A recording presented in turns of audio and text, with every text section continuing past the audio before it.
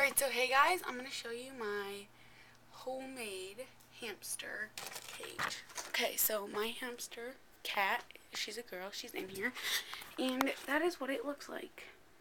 It's much bigger than the fish tank she was in before.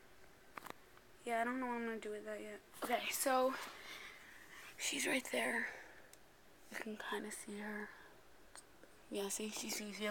Okay, I'm going to open it up when she goes down because she could get out. Okay, but from the outside view, you could see clearly everything, but she got out, so I'm going to show you. Just clips on the sides, and you have to drill your own hair air holes. We did that. Okay, so inside, you see there's a wheel, one of the standing up wheels, and then she has a water bottle.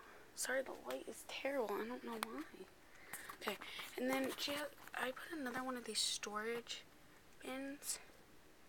Can you can see, yeah, and that's and also one that clips on the side, and you just cover that with hay.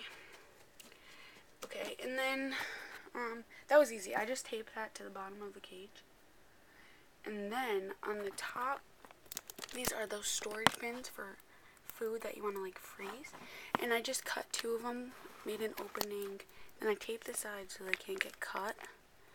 And I taped that on top of here, and it was really easy. And let's see, you can go inside. There's a huge area, bigger than the old house she had before. And she's eating right now, see? Yeah, okay, so, and then I just have one, another one of those storage, plastic storage bins with her food, which she is eating right now. And I have some chew sticks right there her water bottle. I don't know if I already said that. And underneath it, I just have a paper towel. You can kind of see that little white dot. That's because it leaks and it's just easier to clean that up. Yeah, so I know she really likes it. Oh, the light's so much here. Let me move it over. The light's so much better over here.